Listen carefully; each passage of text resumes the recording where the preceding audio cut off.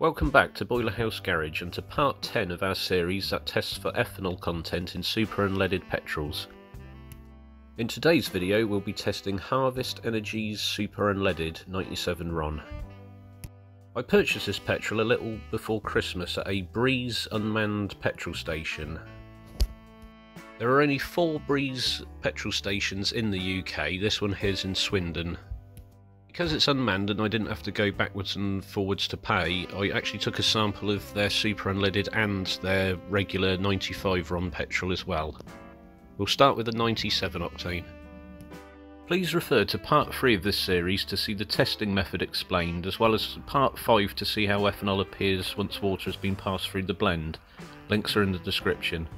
In short, I'm adding 300ml of water to 700ml of the test petrol to extract the ethanol from the petrol into the water. If the separation line remains at 300ml, that means there's no ethanol absorbed into the water. If it's at 370ml, the fuel is E10, and at 335ml, it's E5. On first glance, and probably this will be the end result, the line is at 300 millilitres, thus harvest fuel is ethanol free, but we will be leaving this for an hour.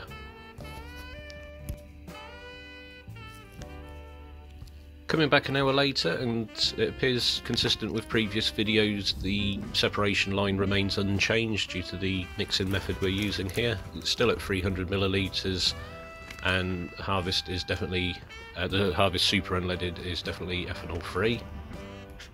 It's actually starting to get a bit boring now, we're not finding much in the way of ethanol in any of these Super Unleadeds in the south, bar the Texaco uh, that I tested in the previous video. Uh, as I mentioned earlier, I did get a sample of Harvest's 95 octane premium unleaded. Uh, premium is the UK for UK uh, standard uh, unleaded fuel, which we'll be testing after this. While you're watching a quick advert, I'll pour this into my fuel container.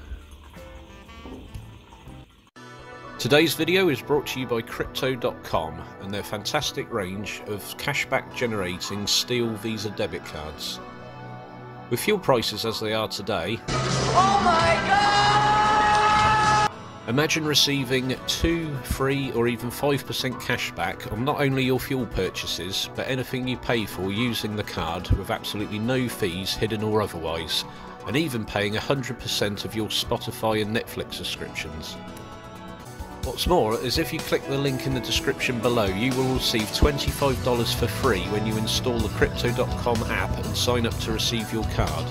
Please feel free to comment if you need any further information on this offer or the Crypto.com app itself. Now back to the video.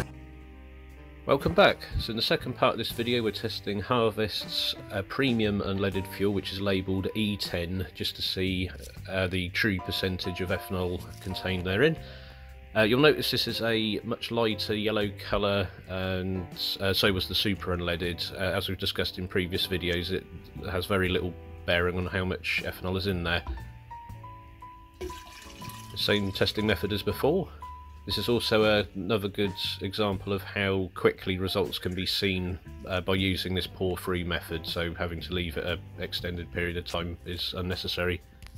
Saying that because the fuel is so light, it's uh, pretty hard to see on camera where the line is, but uh, in person I can see it's actually already at the uh, 350 milliliter line, so obviously it's definitely ethanol in here. It's showing up a little better now. In case it doesn't come across on camera, here it is with some bit more light on it.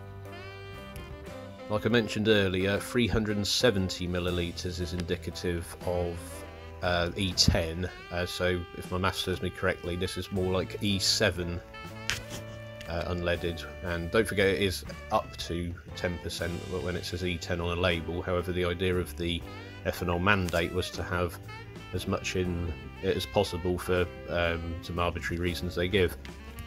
In answer to a comment on my previous fuel test video for Tesco Momentum uh, I mentioned a, a, hypothesis of mine of why we're not seeing quite the ethanol levels uh, that are purported to be in our petrols Perhaps it's more of a supply chain issue because unlike the US, we don't have the whole state of Nebraska and their corn lobby uh, to just be able to supply this ethanol. That's had an artificial demand created for it of about 150% uh, in the UK.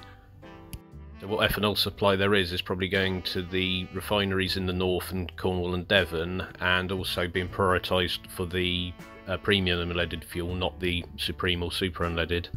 Another possibility is that the uh, government may be taking a slower approach to increasing the amount of ethanol in the fuel rather than making it sudden, with the view that uh, when they do increase uh, the fuel levels where uh, every premium unleaded is 10% ethanol and every super unleaded is 5%, that any damage or problems that causes, especially to old cars, is put down to it simply being an old car breaking down later in time uh, when we're all under the impression that the fuels are pretty much 10% and 5% ethanol and uh, by then have been for some time.